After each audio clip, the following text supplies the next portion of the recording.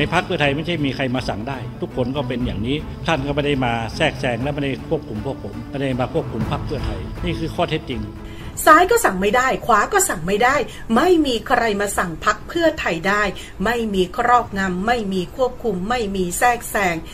ไม่ว่าจะเป็นทักษิณชินวัตรก็มาสั่งอะไรพักเพื่อไทยไม่ได้ค่ะ ถ้าสั่งได้เนี่ยป่านนี้ชื่อของชัยเกษมนิติสิรินะคะ ก็เป็นนายกรัฐมนตรีไปแล้ว นี่คือคำชี้แจงจากคุณวิสุทธิ์ชัยนรุนจากพักเพื่อไทยค่ะ แต่ชาวบ้านก็ฝากมาถามว่า แล้วถ้าหากว่ามันจะเกิดการควบคุมแทรกแซงหรือว่าครอบงำทั้งหลายเหล่านี้เนี่ยจำเป็นจะต้องเป็นคนตัวเป็นๆมาที่พักเพื่อไทยเลยหรือเปล่าจึงจะสามารถสั่งได้คะ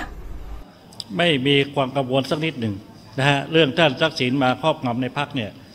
ผมเองก็อยู่ในพักและเวลาพักประชุมเนี่ยก็เป็นประธานที่ประชุมทุกครั้ง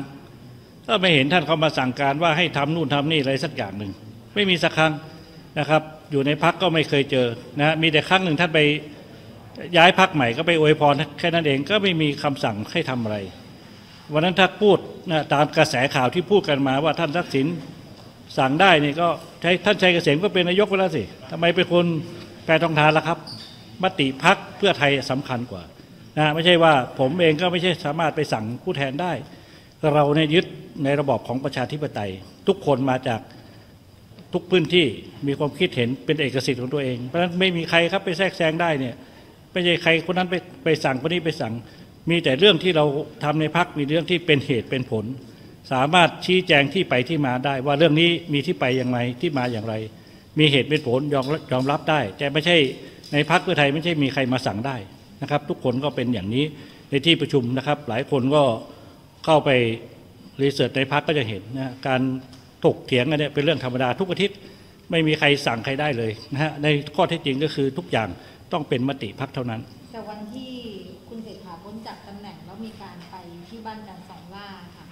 ตรงนี้จะเป็นข้ออ้างที่จะเอามาเอาผิดได้ไหมคะว่าคุณทักษิณคือถ้าไปอ่านพักร่วมคุยหรืออะไรเงี้ยค่ะไปอ่านรัฐธรรมนูญให้ชัดเจนว่า แทรกแซงควบคุมในการบริหารพรรค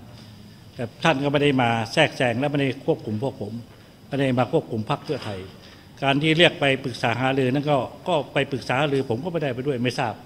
คุยอะไรก็บ้างก็มีข่าวออกมาว่าทศท่านนั้นท่านนี้จะได้เป็นนายก